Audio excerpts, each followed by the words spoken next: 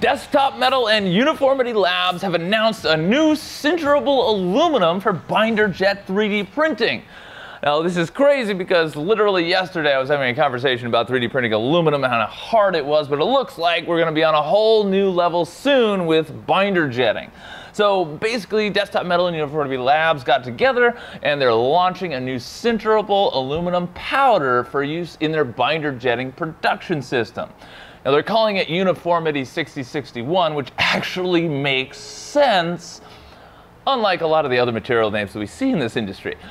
So for those of you not know, uh, 6061 aluminum is a very common material. So Uniformity 6061 is an easy to understand name for their new printing material.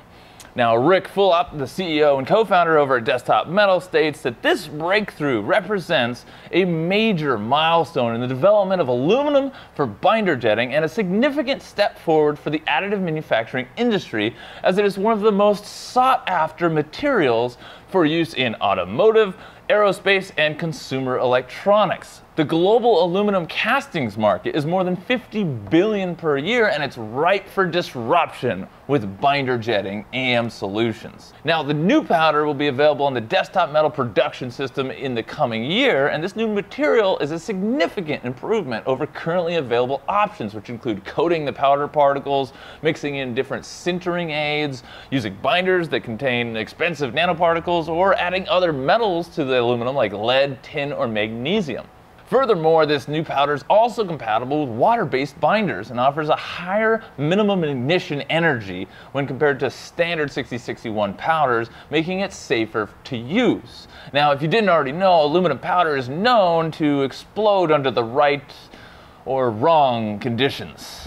Yeah, it's it's it's serious business. Now, the new material is expected to unlock a wide variety of applications, including electrical fittings, heat exchangers, vehicle frames, uh, and coupling components, and a bunch of other things. By the way, if you're enjoying this video, help us out by hitting that like button and subscribing if you're really enjoying it. And as you may recall, if you are a subscriber, back in December, the company actually merged with Trine Acquisition and went live on the New York Stock Exchange. Desktop Metal pulling big things. Their value at the time was 2.5 billion dollars, and they got an additional 580 million in funding. They also bought EnvisionTEC for their DLP technology, and they just launched their Studio System 2.0.